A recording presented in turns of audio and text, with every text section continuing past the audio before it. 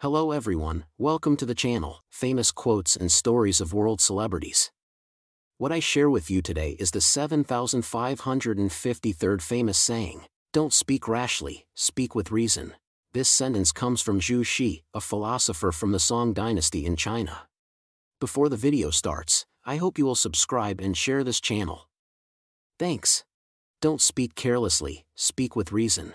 This sentence is the crystallization of the wisdom of Zhu Xi, a Chinese philosopher from the Song dynasty. As an outstanding Neo-Confucianist, Zhu Xi's philosophical thoughts had a profound impact on both ancient and modern Chinese society. The philosophy contained in this sentence is not only a norm for people's words and deeds, but also a wise summary of social interactions. This article will illustrate the connotation and value of Zhu Xi's words by citing one or more stories. In the distant spring and autumn period, the story of Confucius and his disciples can well explain Zhu words. One day, Zilu, a student of Confucius, asked Confucius, Teacher, what kind of person can be called a gentleman? Confucius replied, A gentleman's words must be well-founded and his actions must have results. He does not speak rashly and does not act rashly. This story is similar to Zhu point of view they all emphasize the importance of words and deeds, as well as the justification and rationality of words and deeds. Don't speak rashly means that when we make remarks or express our opinions, we must think carefully to ensure that what we say is well-founded and reasonable. We cannot speak freely and make unfounded and unreasonable remarks at will. Because such rash words and deeds will not only mislead others, but may also have a negative impact on yourself. Zhu Xi advocated a responsible speech attitude, which is also the quality that a gentleman should have. What we say must be justified requires us to follow the laws and principles of things when we express our opinions. Speeches must be consistent with the actual situation and must not violate facts or moral ethics. This is a restriction and requirement on the content of our speech, which embodies Zhu Xi's pragmatist philosophical thought.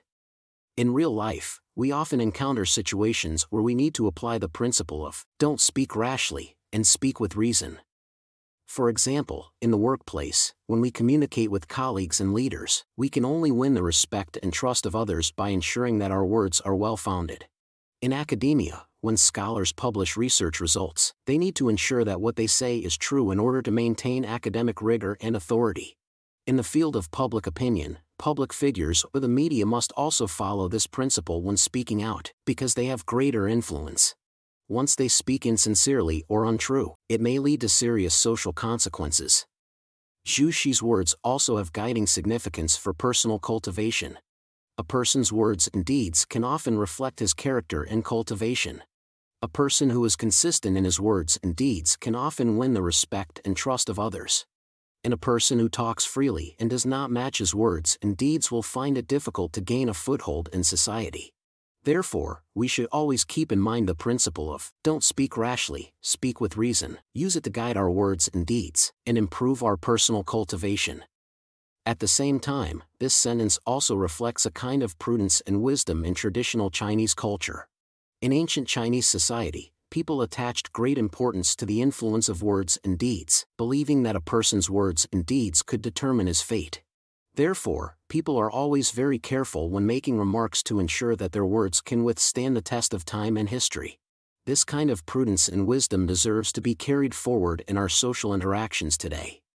To sum up, don't speak rashly, speak with reason, is Zhu Xi's famous saying, which embodies the wisdom and prudence in traditional Chinese culture.